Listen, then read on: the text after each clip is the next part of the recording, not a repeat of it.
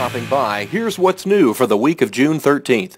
Registration for Cub Scout Summer Camp has been extended until this Friday, June 17th.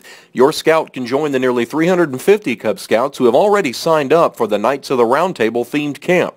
To register, visit tinyurl.com slash cscamp1, cscamp2, or cscamp3. The 2011 Eagle Home Service Project will kick off on Saturday, July 9th. The project calls on scouts, scout alumni, leaders, and parents to build a home in partnership with Austin Habitat for Humanity.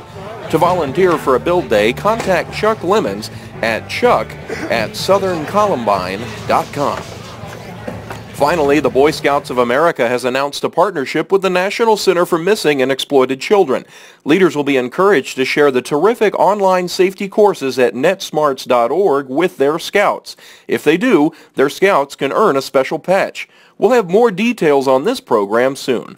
That's what's new this week. Thanks for watching.